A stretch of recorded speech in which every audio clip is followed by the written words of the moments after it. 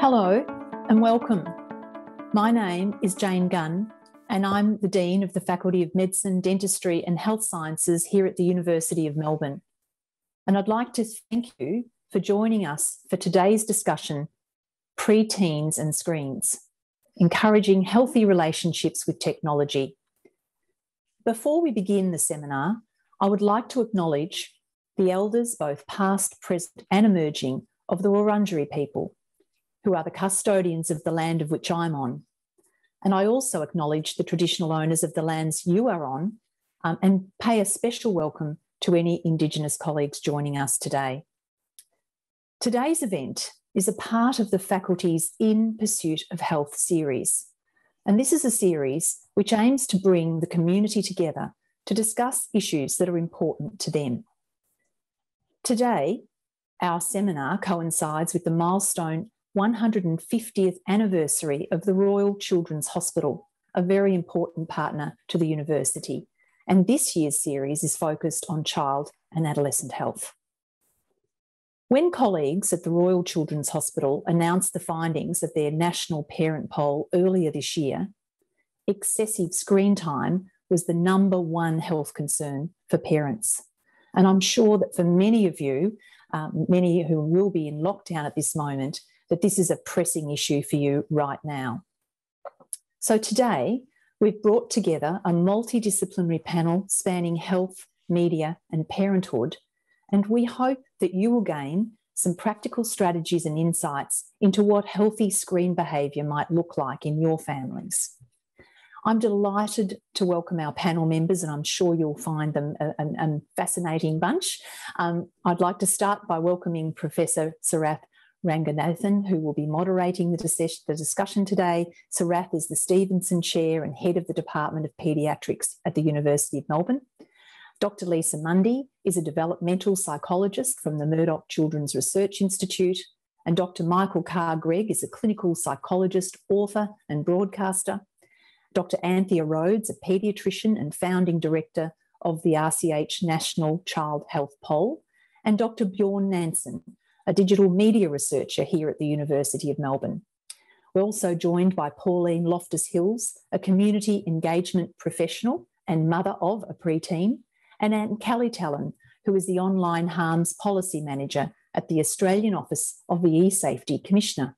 So, welcome everyone.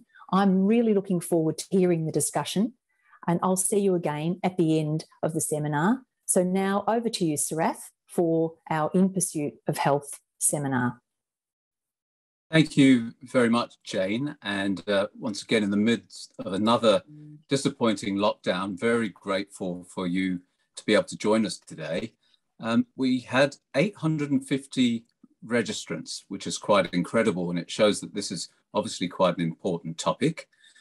Two thirds of you that have registered are parents, and a third are academics. Uh, many of those are colleagues in the University of Melbourne but I think their prime motivation today is also because they are parents. What we're aiming to do is to try and get a better understanding of how screens are influencing our young children in our society and to try and find ways to manage that better um, as long as we're aware of the pros and cons of that in, in relation to the sort of culture around children and their use of screens personally, I've got three children um, a 21 year old, an 18 year old, and a 14 year old. And so I've seen the increasing importance of screens in their lives. Joining us today, and the first person that I want to um, question in this panel to get us all going is Pauline Loftus Hills. Pauline, you're a parent. How does this particular issue around screen time resonate with you in relation to the experiences with your family? Thanks, Sarath. Mm. Yeah, I guess further to what Jane just mentioned, um, it, from a personal point of view as a parent, excessive screen time would definitely be um, one of my main concerns. And I guess, particularly over this pandemic period, uh, we like to call it in our house screen creep, where all of a sudden one hour turns to two, turns to three. And we do worry as parents what that's doing to our kids' uh, brains and bodies. Um, and further to that, the conflict that it causes in our home and trying to set and keep boundaries around um, screen time to try and avoid that conflict. And I guess there's some deeper issues and concerns as, as a parent that I would have in terms of, particularly for um, preteens, is stumbling over inappropriate material um, inadvertently and that being a cause of concern in terms of any temporary or permanent scarring or even just loss of innocence, I guess. And then I guess a more serious concern I would have both as a parent, as a community member, would be online safety and any, you know, recent reports of grooming, which don't just concern me, but kind of, yeah, really horrify me from a community point of view as well that people so young are also being groomed. Um, and there is a risk there. So they would probably be my top three concerns as a parent at this point. They all sound very uh, important, and I'm sure they resonate with most of our audience. I'll, I'll just turn to Anthea because um, Jane mentioned the, the Royal Children's Hospital poll.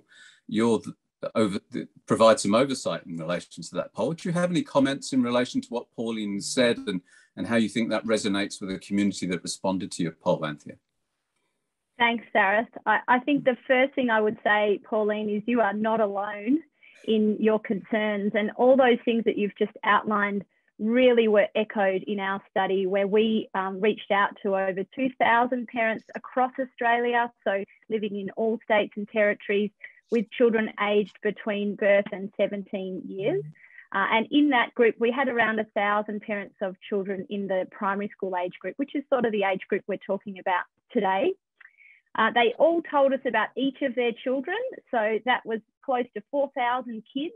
And the biggest concerns parents have um, relate to, as you've mentioned, excessive screen time. So worrying that there's just too much time being spent on screens. And then the concerns two and three, when we asked about all different health um, and lifestyle challenges for families, after excessive screen time, the next um, biggest concern was around cyberbullying and um, also other types of bullying that don't relate to the online space, but certainly cyberbullying was a big part of that. And then number three was internet safety. So when we asked parents what's worrying them most, those screen related issues, you know, were right up at the top.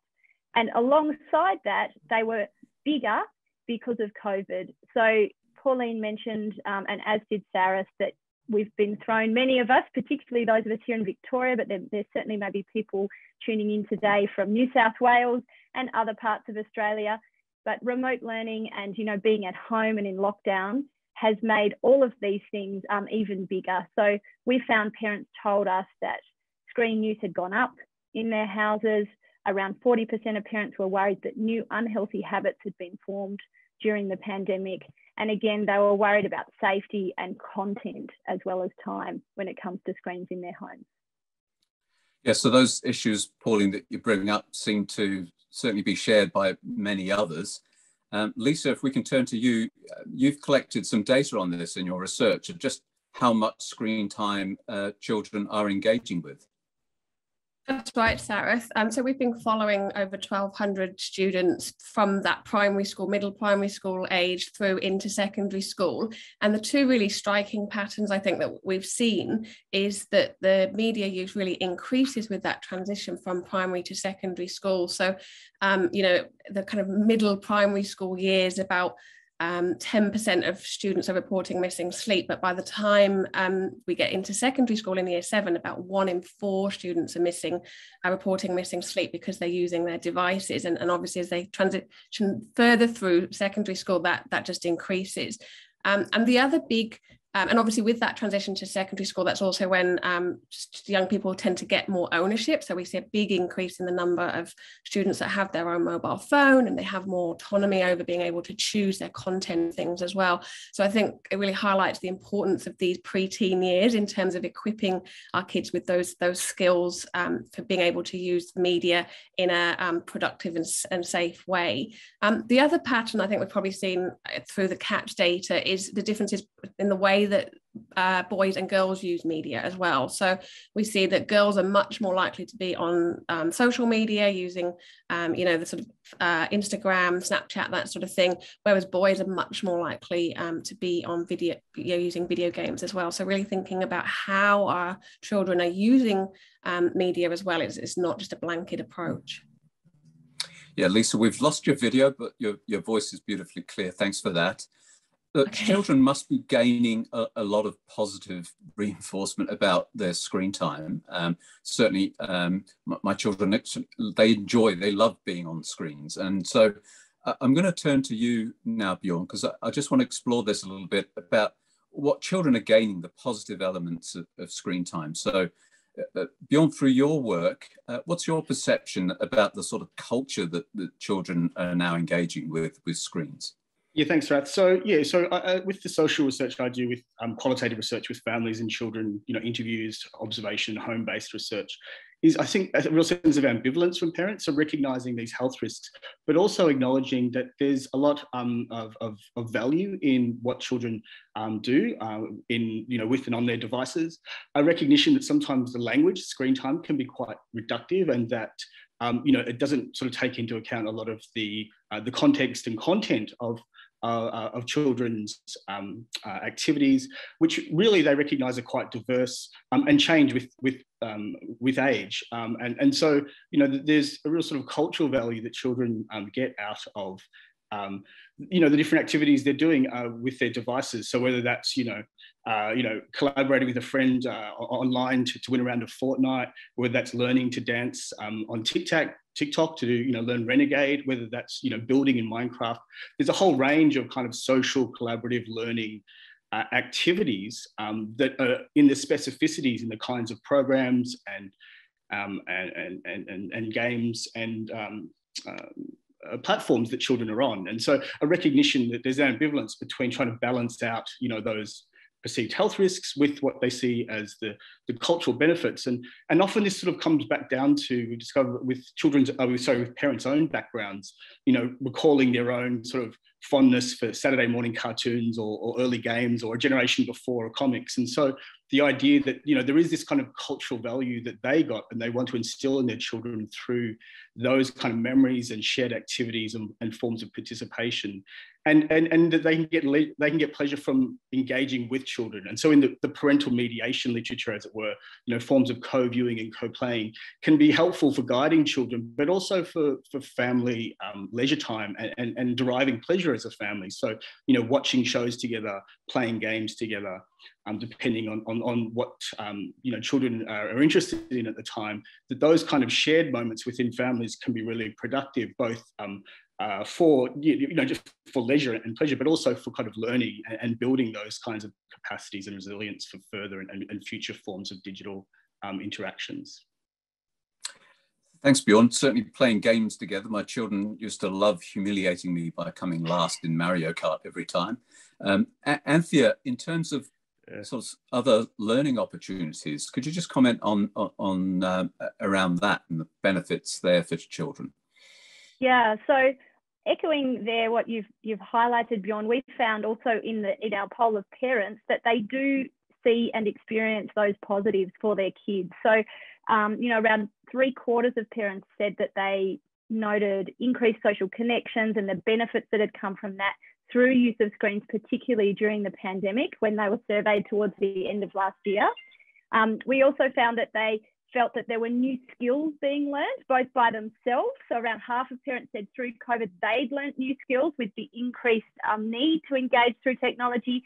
And two thirds of them said their kids had learned new skills. So definitely positives there in terms of their um, engagement socially and their learning opportunities. And we know, you know, wearing my hat now as a developmental pediatrician, that all of those things do happen through those processes as well. So exercise that happens um, as a type of play where technology might actually be the medium for that play and engagement is still bringing those benefits that we see through play that doesn't involve technology. So the short version is, I guess, parents also know there's positives and it's not all bad.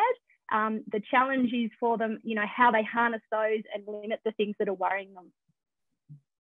Yeah, so in, in relation to the, the, the positives then, Pauline, um, you, have heard Bjorn and, and Anthea.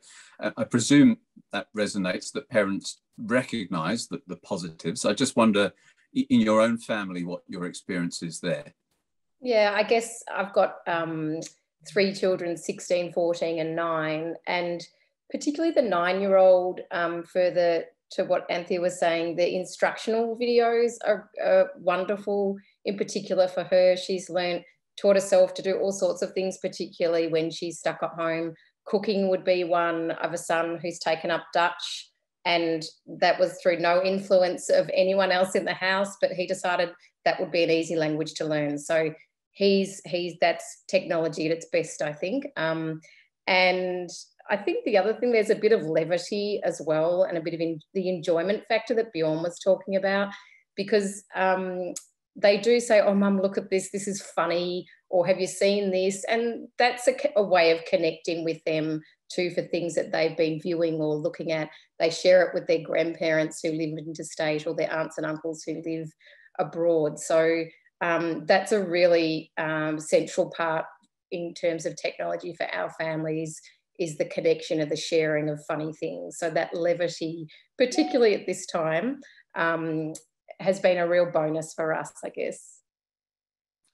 Um, I think, though, what we should move on to now, because you've brought this up, Pauline, and, and, and certainly in the poll, are, some of those concerns and challenges that we're facing with um, with screens for, for young children. And I think this is a, a good point to um, bring Michael into the into the discussion. Uh, Michael, as, as a psychologist, are, are, you seeing any impacts that you believe to be associated with screen time in terms of children's uh, mental health and well-being, for example? Thanks, Strath. Um, I, I, hmm. think the main impact has been um, from COVID itself. If you think about children, there's four things that they need to be doing. One is being with their friends. Uh, the second is going to school. The third is to emancipate from the adults around them gradually and figure out who they are. Fourthly, identity formation. I think all four of those key developmental tasks have been significantly thwarted by the lockdown. So it's quite difficult for me to separate out. Um, there's definitely been an increase in mental health presentations to the point where my next appointment is February uh, the next free one, and my colleagues are all in the same um, situation. So we're seeing more anxiety, more depression, um, and I think that many are retreating to their rooms. Uh, they are spending a lot of time on uh, online, and therefore the issues that I'm seeing relate very much to things like the cyberbullying, um, the gaming, um, excessive screen time and conflict with parents, and something that I am concerned about, which is a real reliance on social media to the exclusion of anything else, which seems to prompt some of my clients to make extremely detrimental comparisons, both physically, socially, and academically, with other people. So they seem to be using social media almost as an alternate reality an escape, if you like, from uh, the boredom of their daily lives. Well, thank you, Michael. Um, that's sort of concerning. I, just want to turn to Lisa because you mentioned before, Lisa, the CAT study. Could you just tell people what that stands for and, uh, and what the data from your study shows in relation to the challenges of screen time? Yeah, so the CAT study is the Childhood to Adolescence Transition Study, and we've been following um, so 1,200 students across those those middle years, and really looking at, as the name suggests, that transition into adolescence and some of those things that Michael was saying are so important during these years, um, in terms of developing, in terms of um, you know, kind of having their own um, identity formation, you know, engaging with peers, starting to move away from the family group, that sort of thing. So we've been um, really interested in some of the um, the factors that kind of influence um, some of those changes that happen across those years. And of course, the big one is, is uh, media use. And so we've been looking at um, different types of media use. So, for example, social media use. Um, we found that girls who were using high levels of social media, and by high, we're just talking about just over an hour of, of social media um, at sort of age 11 12 so that's actually sort of technically a year before you should even have a, a social media account um, were over two times more likely to experience depression and anxiety in, in middle adolescence. So really quite striking. And, and what's really important about the findings from the CAT study is that we've been able to track the same young people across these years. So there's some um, thought that maybe, you know, children who have emotional problems are more likely to, to turn to their devices and use social media, for example, in this case but we um, were able to look at those children who had higher levels of emotional problems and, and these findings um, remained even whether uh, whether they had emotional problems prior to starting to use social media or not. So um, so basically it's it's sort of a independent effect that seems to be being um, driven across these years.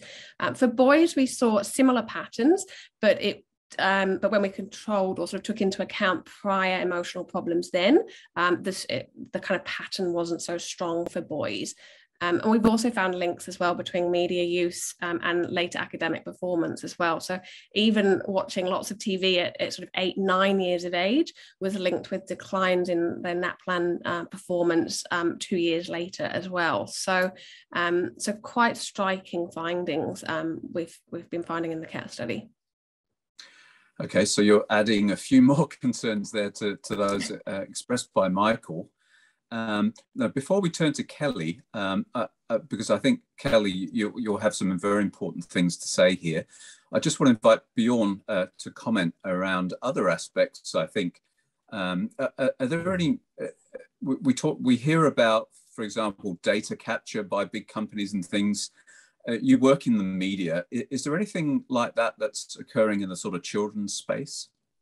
No, there, yes, there, yes, there is, Raf. And um, I think in hmm. addition to the kind of uh, health concerns um, that are being raised here uh, about health and well-being, there's some other ones that I think many parents are aware of, and I think are getting a lot more prominence in the media around children's privacy, children's data, um, and, and the kind of commercial uses and, and, and, or exploitation of that. I think there's some um, actually some interesting and, and positive moves in that space. Um, for example, last year, um, YouTube um, settled with uh, the FTC uh, in an agreement in which they would stop tracking children in the kids' YouTube app or if kids watching um, children's content on YouTube. Uh, and so they'd be uh, they'd stop tracking them in order to um, uh, produce targeted advertising. And so I think there's a, an increasing awareness of that and, and moves towards regulating, whether it's self-regulation or, or, or, governmental kind of responses to that. Facebook has recently announced that for Instagram accounts of children under 18 or youth under 18, that they'll be set um, as private by default rather than public. So I think the platforms are kind of responding to this kind of pub, public uh, the prominence of these issues and, and, and, backlash about them. I mean, I think there's ongoing ones, um, particularly, um, uh, yeah, just around the kind of commercialization of, which is, you know, there's a long history of that with, with children's media, but how that, you know, within online spaces, that's often kind of um, escapes territorial kind of boundaries and is, is, is quite a difficult thing um, to manage. Thanks, Bjorn. So, so Kelly, um, you work in the office of the Safety Commissioner, and uh, and I think that you'll have very important things to say uh, around some of the things that Pauline brought up around cyberbullying, etc.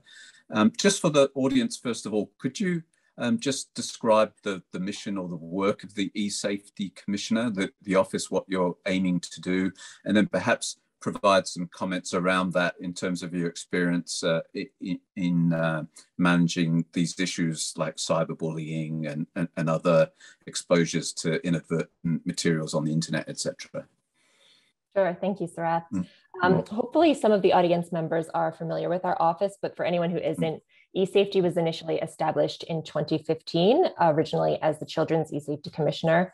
Um, over the course of the last few years, we've had our remit sort of expanded in, in fits and starts.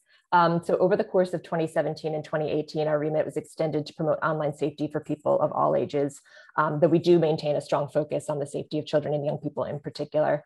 Um, I thought I might just start by raising the sort of three pillars of our work broadly. Uh, the first of those is protecting and supporting individuals who are experiencing online harms, and that includes kids and their families. Um, and we have a couple of legislated schemes that I'll talk about in just a second around um, cyberbullying and image-based abuse that I think the audience will find particularly interesting. We also push for proactive and systemic change among industry players to lift their safety practices and try to prevent harms before they occur rather than just having those um, protective schemes at the bottom of the cliff. Um, we also work on prevention through evidence-based educational resources and programs for a variety of audiences, and that includes kids of all ages, their parents and carers, diverse communities, et cetera. Um, you mentioned cyberbullying in particular. So we do have a legislated scheme where we um, are empowered to receive, investigate, and take action against uh, cyberbullying material that's targeting children under the age of 18. Um, cyberbullying is defined as material that's seriously threatening, harassing, intimidating, or humiliating.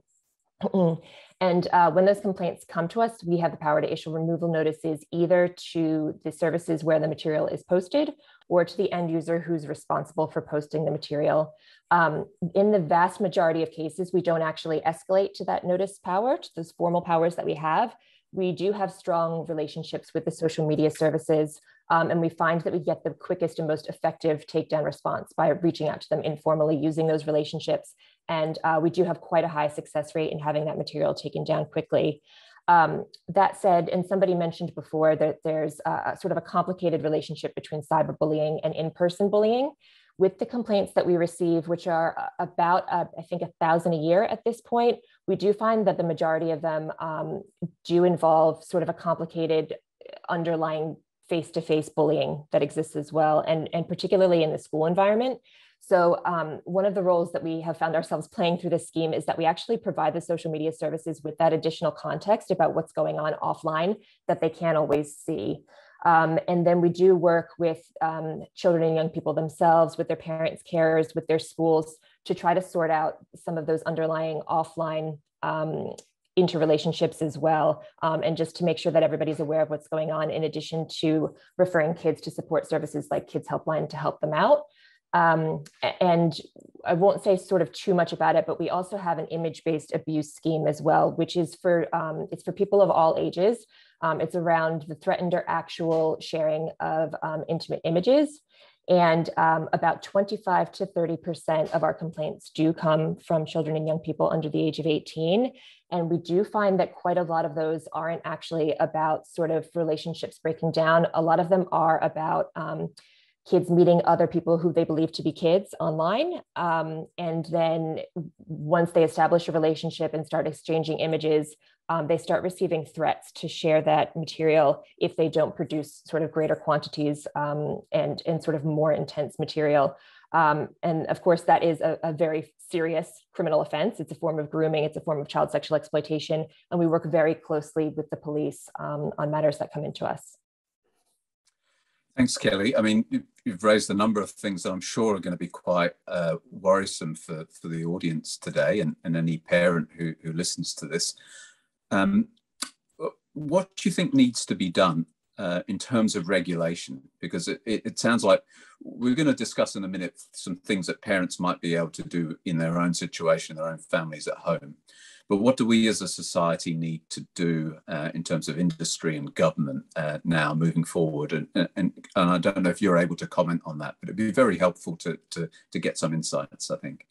Yeah, sure. And before I do, I might just say it is really important to emphasize that these are very serious risks and harms. But as the other panelists have said, there are such great benefits to being online as well. And one of the paradoxes is that um, you know, children can use the online world to actually reach out for help seeking, including to the Office of the E-Safety Commissioner when they are experiencing these troubles. So I just wanted to sort of make that plug. Um, but uh, Australia is actually at the forefront, I would say, of, of regulating the um, online industry. Um, people may know that the new Online Safety Act was just passed in June. It received royal assent in July, and it's going to take effect in January.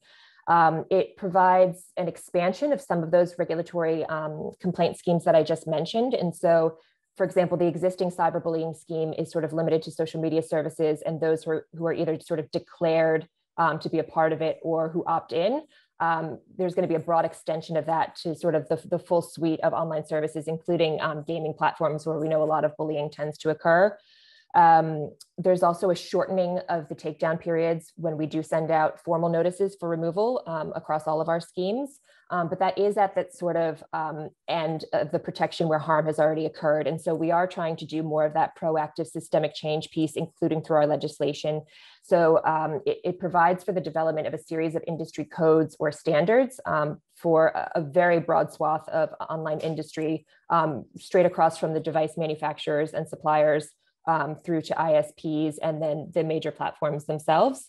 Um, those focus on uh, content issues, so class one and class two content, which is around sort of the very high end illegal child sexual exploitation and abuse, pro terror content, down to the the lower end material, which is um, things like adult pornography that's um, you know not necessarily harmful for adults, but could be quite harmful for children developmentally. Um, and so those codes will seek to put sort of minimum compliance measures in for those industry services um, based on risk. And uh, we're looking to take an outcomes based approach. And the development of those codes will continue um, until around July. We're hoping that the first set of codes will be put in place um, to start addressing those issues. Um, the other thing that the Act introduces is a set of basic online safety expectations, which are set in a ministerial instrument. Um, and that has actually just gone out, a draft instrument has gone out for public consultation um, being held by the Department of Infrastructure um, and, and, has a, a, sort of broad array of expectations that will apply to um, social media services, websites, messaging services uh, around expectations that they keep their users safe and then if the e-safety commissioner believes that a service is not living up to those expectations, we have some transparency reporting um, powers that we have um, in order to be able to sort of dig into the black box that we kind of find industry can sometimes be um, to get more details about how they're actually living up to those expectations. Uh, thanks, Kelly. That's a very detailed response. And, and personally, it, it sounds like there's a lot of work uh, going on there and certainly recognition of the problem. Um, I, I, think that would be uh, sort of reassuring about the systemic response to these issues. And I think it would be important now just to move on into some practical areas that we can leave this panel discussion having some optimism that we could manage screen times a little bit better in our own home. And, and probably the best person to start uh, this this discussion would be Michael, because Michael, you've you're a professional um, uh, advisor to parents. I've seen you on morning television doing that sort of stuff, and you've written a book on starting secondary school. Um, you, you brought up some of these challenges that you're you're hearing about in, in your service. But what advice can you give parents uh, in relation to managing screen time for their preteens?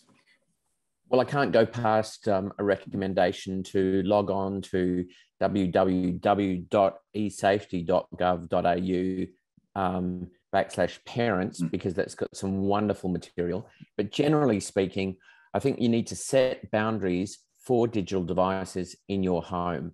That means no devices in bedrooms or bathrooms for young children, all screens off in bedrooms after a certain time for older children uh, all screens off at least one hour before bedtime. Um, all family members should switch off at dinner time because I think your role modeling is crucial in this. And that devices should be charged overnight in a place where your children can't access them. Generally speaking, we have to recognize that technology um, is really the, the perfect storm now um, we've got significant cyber safety issues because young people's brains are still developing, but they're using a technology which is in the moment and of the moment. And that has created the perfect storm. So parents really do need to be quite proactive in um, doing the sorts of things that I've talked about. Thanks, Michael. Uh, good practical advice. I think that would be the ideal scenario, certainly. And Anthea, um, from your consideration of the results of the RCH poll, um, what would your advice be to parents?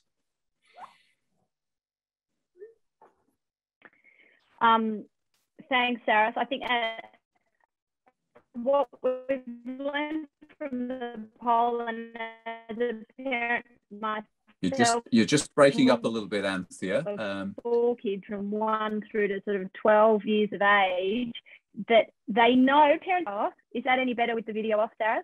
That is so, better, yeah. Um, just saying, as a parent myself of, of four kids bet- between age one and, and 12 years, and what we've learned from the poll is that the really great advice that Michael has just given us about having screen-free bedtime, screen-free meal times, setting boundaries and being aware as a parent of your role modeling when it comes to screen use.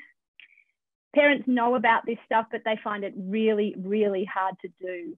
And mm. um, parents have told us that, you know, that role as a moderator, if you like, of time and content is a big burden. It's frequently a cause of conflict um, in households. So just putting that out there because I think it's really important for parents listening. Um, and you might feel that sinking sort of feeling as you hear this advice because you think, oh, I know all that, but it's really hard. That said, it still is really important. And sometimes some of those things that are tough, there's not an easy way around them. And um, I would reinforce that advice from Michael where parents can, can do it because there is good evidence that it is some of the stuff that makes a difference. So healthier sort of screen habits and thinking not just about how much screens and technology are used in your house, but how they're used. So making some of those interactions positive, doing the sorts of things that we heard, you know, Bjorn talking about that we know um, build positive relationships and uh, are good ways to use screens and healthy screen habits in households. Thinking about building those things in rather than just what you're trying to stop doing. It's a bit like if you're, you know, go back to parenting advice with kids and some of you might remember the idea that instead of telling your child, don't run, don't run, you've got to say, I'll slow down or walk so giving the advice about what you would like them to do is really helpful, um, I think, when it comes to practically making a difference. So on a daily basis, what that might mean is think about what you can schedule into the day that's not screen based or that is a positive type of screen use. And if you do that, then um, there's going to be less time spent in some of the areas that might be less positive or more risky. So structuring in the positive things is a really practical tip. Um, and also just to echo for parents the practical stuff that they can um, get from logging onto the eSafety uh, website. A lot of the concerns from parents that we learnt through the poll do relate to those issues around safety that we've just heard in detail about from Kelly and you know really do make you feel nervous as a parent and knowing that that stuff does go on validates some of those concerns. So rather than sitting with them and being anxious, a lot of parents told us in the poll that they don't feel well enough informed or they don't feel like they've got enough tech skills to oversee things from a safety point of view. So go online to the eSafety website, upskill yourself. Sometimes as a parent it's, or just as a person, if something's hard, we pull away and we sort of give up. I would really encourage parents to actually lean into these challenges, try and get yourself more informed. What you can learn online is a lot schools will also offer um, good support in many situations that's practical. Don't be afraid to put your hand up and say, I'm worried about this, but I've got no idea how to do it, particularly where you might feel your kids, who are even as young as eight or nine, have really already outstripped you when it comes to knowing how to navigate the tech. So, upskill yourself is another really important way to empower yourself as a parent to make a difference. That's great. Thanks, Anthea. Um, I'll, I'll, turn to you, Lisa. Um, anything else you, you wish to add? Um, and, and, particularly, I think you or, or one of the panelists mentioned earlier role modeling uh, for us as parents. Yeah, that's right. I think Michael might have said about being a good role mm. model, and I think that that's really, really important. Um, is that we have to also, you know, as much as we can, it's really hard, um, especially with lockdown and stuff that we're reaching for our phones and our screens much more as well. But try and be a bit more mindful about not taking the phones to the um, to the dinner table, you know, and, and having some some screen off time. And um, p- picking up on some of Anthea's points as well, I think um, kind of it's really important not just the time that children spend on devices, but also what they're doing on the devices. So I think kind of thinking about those kind of three C's, the kind of um, connect, create, contribute. So if you, the children are connecting with their peers, connecting with family who might not, they might not be able to see in lockdown, creating content, um, you know, be that videos or, um, you know, blogs, that sort of thing, and contributing to discussions and things online, that that's likely to have a, a positive impact. So picking up on sort of, as, as, I said, on some of the things Anthea was saying, um, I think that's really important to try and um, get some of those more positive aspects of screen use in because screens aren't going away. Um, so, you know, it's, it's about how do we support young people to, to use them in a positive way. Um, the other thing as well, I think, is about helping find quality content as well. And as um, the other panelists have said, there are lots of resources out there to help parents now. Um, you know, for example, Raising Children Network have some really good resources on their website. The Australian Council of Children and Media also have some really good resources as well, um, where they'll rate, um, you know, apps and, and videos and, you know, movies and things things which can help guide parents as something that might be marketed as educational might not be all that educational for example and you know thinking about the sort of violence and things that might be being presented. Um, so i think it's really not just about the quantity. Um, again as we've said in this uh, at the moment particularly that that quantity is is up and we and we can't get away from you know needing to use screens, but really trying to think about how um, the, the, quality um, and how, what we're doing online um, and with screens is, is as positive as possible. Well, thanks, Lisa. Um, Pauline, we said right at the beginning when you expressed some of your concerns as a parent that we would try and, uh, and discuss some of those and, and maybe provide some practical pointers. Um, we're coming to the end of our sort of panel discussion before we open up the, the platform for questions. But I just wanted to uh, give you the opportunity of uh, finishing up, maybe uh, if it's a challenge for you, I suppose, but could you just sort of summarize what you may have learned from this and any final comments you wish to make in, in relation to your own experiences? Yeah, I guess as a as a parent listening to all this, um, I certainly um, have taken some good tips, particularly on boundaries, particularly on um, uh, reaffirming for me that my concerns are valid. I think from the poll research and from the experts as well, knowing that there are resources out there, out there like Kelly's talking about, um, reminding ourselves to look at the positives like Bjorn was talking about, and just some um, practical tips as well in terms of the hour before, um, you know, Michael said making sure that that screens aren't used and um, hold, trying to hold those boundaries. And I think my overriding comment would be to to um, I know I try and pr- practice a bit of self compassion during lockdown, especially, but just to be a little kind to yourself as parents to. Mm. Say, even if you've had screen creep or um, you've forgotten to set the parental controls one, whatever's going on in your life at the moment, just to be kind to yourself as parents and you're doing the best you can each day. Um, because I do feel there's a lot of pressure and conflict around this issue, trying to manage um, the amount of times kids is, and, and, that are using on you know on screens and and the conflict that's creeping into households around that. So having the energy to maintain those boundaries that Michael um, is recommending and trying to balance outside life and inside life at the moment, particularly in the pandemic. Well, thanks very much, Pauline. That was a, a difficult ask of you, but did superbly there. Not at all. You're very um, welcome. Um, I'd just like to thank everyone for, for listening uh, and thanking uh, the panelists here who've done a great job in responding to all these queries and questions and things that I've thrown at you in the audience as well. Really grateful for your participation. Uh, and thank you also to Kate Anderson uh, for organising this. I'd like to just hand over to my boss, the Dean, uh, Professor Jane Gunn, uh, to close the, the session. Look, thanks, Sarath, and thanks to all the panelists, and, and most importantly to the audience. Um, I've really enjoyed the, the seminar today. I hope that you have. I found the three C's uh, ones that I instantly remembered, so thanks, thanks for that. Um, and also, of course, the fourth one, which was in a lot of the chat around conflict, um, which is obviously one of the things that people are really uh, challenged by the conflict that this brings up within within homes and classrooms, etc. Um, and so I can see lots of people wanting tips for how to, to deal with that. Look, I do hope um, that we're able to get back to you um, with some of the answers to the questions in chat, and we'll ask Kate and Co to collect those and, and maybe impose upon our panel members to um, get their words of wisdom. And we will be um, posting that with email links to those of you who've attended today. Um, the In Pursuit of Health series wants to bring topics like this to your um, living room or office or wherever you are. Um, and so, if you're interested in taking part in other seminars, please follow us on Twitter at UMelbMDHS, and that will be put in the chat today. Once again, I hope everyone's taking care of themselves in lockdown. Um, battling with the screens is going to be a challenge. And I do hope that today some of the tips have been of assistance to you.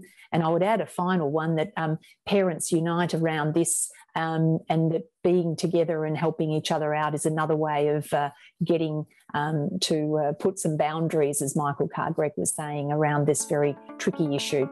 Um, I hope to see you again soon and thank you again. Have a lovely afternoon.